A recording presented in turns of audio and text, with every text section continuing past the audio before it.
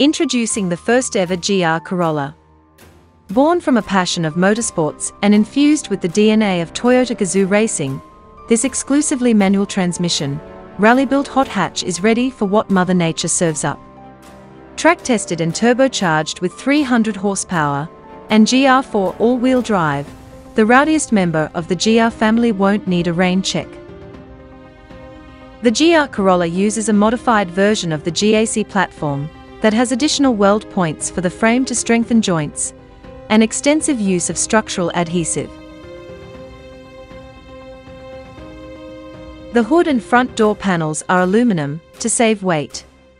The body gains canards on the corners to channel air down the flanks and widened fenders. The underfloor is flat to reduce drag. The hot hatch's suspension consists of MacPherson type struts for the front and a double wishbone design at the back. The Mina Corolla rides on 18-inch, 15-spoke wheels with a gloss black finish, that have Michelin Pilot Sport 4 tires in size 235-40 R18. The GR Corolla will be offered in two trims, Core and Circuit Edition.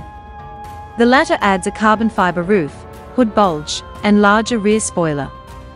Both trims are rally car wide and RC car silly in the best way, with chunky vented fenders and a tweaked version of the Corolla's big frown of a grille that makes the GR look like it's laughing. The Corolla also has Toyota's first sporty all-wheel drive system in decades.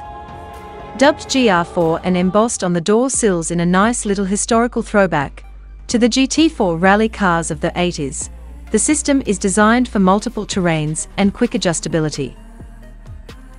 The GR Corolla's interior features a 12.3-inch digital infotainment display. The screen includes views of the selected all-wheel drive mode, turbo pressure, gear position indicator, and tachometer.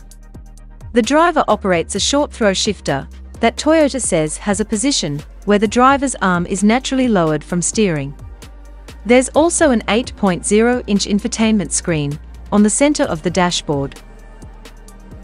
Under the hood, there's the G16E GTS 1.6-litre turbocharged three-cylinder engine, making 300 horsepower at 6,500 RPM and 273 pound-feet.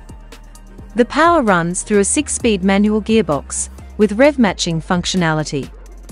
The GR4 all-wheel drive system has selectable 60-40, 50-50, and 30-70 front-rear torque split settings, depending on the driver's preference.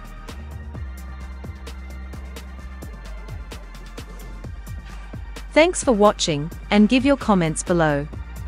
Thanks for watching, and give your comments below.